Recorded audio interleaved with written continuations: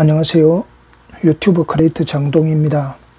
1편에서 소개드린 키네마스터 설치 방법 안내 영상에 이어 오늘은 키네마스터의 화면 구성에 대하여 소개드리겠습니다. 키네마스터 어플을 클릭하면 빨간 새로 만들기 버튼이 상단에 나타나죠. 이것을 클릭해 보면 화면 비율을 어떻게 할 것인지를 묻습니다. 16대 9는 유튜브에 최적화된 규격입니다.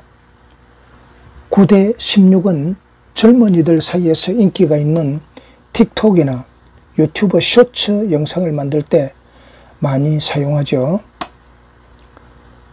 1대 1은 인스타그램에 최적화된 규격입니다. 이 중 16대 9와 9대 16을 가장 많이 사용하기 때문에 유튜브를 하시겠다고 하면 이 두 종류의 규격을 기억해 두시는 것이 좋겠죠. 다음은 아래에 고급이라는 곳이 있는데 그곳을 클릭해 보면 사진 배치가 나오죠. 사진 배치는 화면 맞추기, 화면 채우기, 자동 세 종류가 있습니다. 사진이나 영상을 키네마스터에 불러오면 위 세 가지 설정 중에 어떤 설정을 해 두느냐에 따라 영상이 달라집니다. 화면 맞추기는 원래 규격 그대로 화면에 보여줍니다. 그래서 4대 3 규격의 사진을 불러오면 16대 9 규격의 모니터에서는 좌우에 검은 여백이 생기는 것을 볼 수 있죠. 그런데 4대 3 규격의 사진을 화면 채우기로 불러오면 16대 9 규격의 화면을 가득 채우게 되므로 본래의 사진 중 아래 위가 잘리는 것을 볼 수가 있습니다. 자동은 pan and zoom 기능을 배우지 않았지만 어떤 규격의 사진이든지 관계없이 자동으로 사진을 밀고 당기는 pan and zoom 기능을 적용하여 멋진 영상으로 변환시켜 주므로 처음 키네마스터를 시작하는 분에게 저는 자동 설정을 권하는 편입니다. 사진 배치 설정이 끝나고 나면 기본 사진 지속 시간이 있는데 이것은 한 장의 사진을 몇 초 동안 보여주겠느냐는 것입니다. 보통 짧게는 4초부터 길게는 15초까지 다양하게 그때그때 다르게 설정하시면 됩니다.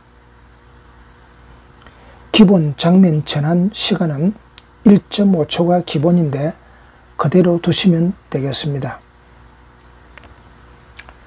그리고 나서 빨간 표시의 만들기를 클릭하면 지금까지는 세로 화면이었는데 이제 가로 화면으로 바뀌는 것을 볼 수 있습니다. 가로 화면 왼쪽 상단에 보면 미디어 브라우저라고 되어 있죠. 여기는 내가 앞으로 사용할 사진이나 영상을 어디에서 불러올 것인지를 찾는 곳입니다. 첫째, 키네마스터가 자체적으로 가지고 있는 사진이나 영상이 있습니다. 그것은 위에 하얀 책꽂이처럼 되어 있는 것 4개가 보이죠. 이미지 에셋, 동영상 에셋, 즐겨찾기, 클라우드 4개입니다. 실제로 이 중에 이미지를 불러와 사용하는 것은 이미지 에셋과 동영상 에셋 두 가지입니다. 이미지 에셋을 눌러보면 동영상이 아닌 사진처럼 움직이지 않는 각종 이미지들이 들어있는 것을 볼 수 있죠.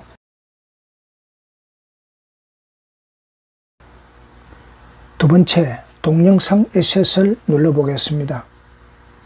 정말 다양한 동영상 에셋이 들어있죠. 이 동영상들은 주로 영상을 꾸미는데 많이 사용하는데 오늘은 이런 것이 있구나 하는 것만 알아두시기 바랍니다. 다음은 우리가 스마트폰으로 사진을 찍으면 그 사진을 바로 불러와서 영상 편집을 할 수 있죠. 그러면 키네마스터로 본격적인 영상 편집을 하는데 사용하는 화면으로 들어가 보겠습니다. 이 화면을 보면 왼쪽에 커다란 금은 사각형이 보이죠. 무엇처럼 생겼습니까? TV 모니터처럼 생기지 않았습니까? 이 부분이 바로 사진이나 영상을 불러오면 보여주는 모니터죠. 어떤 분은 미리 보기 창이라고 하는 분도 계시지만 TV 모니터를 보고 미리 보기라고 하는 분 보셨습니까? 모니터 아랫부분에 길쭉하게 비어 있는 곳이 보이죠? 이곳은 타임라인인데요. 이곳에 사진이나 동영상을 불러와서 저장하는 공간입니다. 여기에 저장을 하면 바로 위에 있는 모니터에서 보여주죠. 다음 모니터 오른쪽을 보면 동그란 형태의 뭔가가 보이죠. 이 부분이 영상 편집을 하는데 가장 중요한 편집 도구들이 들어있는 곳입니다. 도구를 영어로 툴이라고 하죠. 그래서 편집 툴이라 부릅니다. 이곳이 처음에는 가장 이해하기 어려운 부분이었습니다. 저도 많이 헷갈렸습니다만 지금은 익숙하게 사용하고 있습니다. 동그란 상단에 하얀 미디어가 보이죠? 이것이 영상으로 편집할 사진이나 동영상을 불러오는 버튼입니다. 나머지 세 개, 레이어, 오디오, 녹음은 위에 있는 미디어를 통해서 불러온 사진이나 동영상을 예쁘게, 멋지게 꾸며줄 때 사용하는 보조 역할을 하는 버튼들이죠.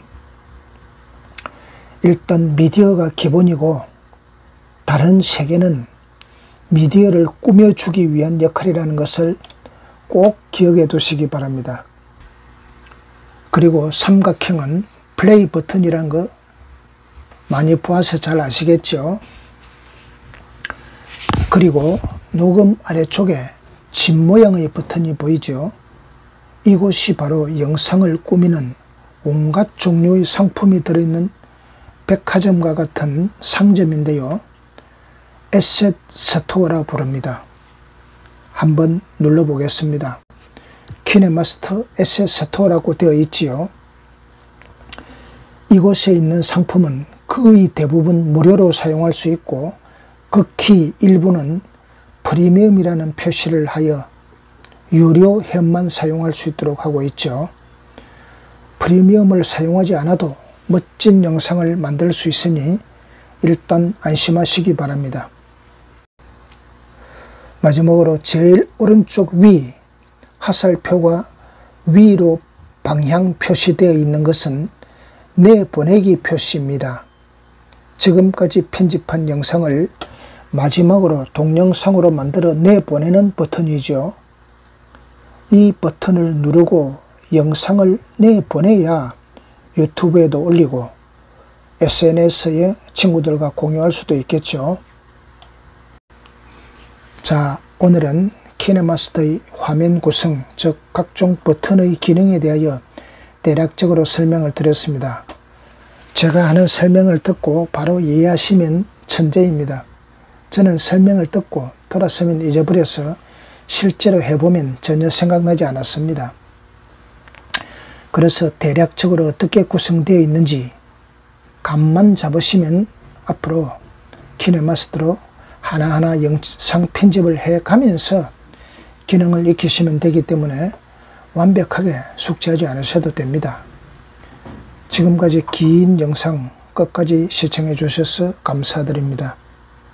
다음 3편은 사진 5장을 가지고 직접 영상을 만들어 보면서 SS토어가 뭐 하는 건지 이해하고 장면 전환도 해 보도록 하겠습니다. 다음 편을 기대해 주시기 바랍니다. 감사합니다.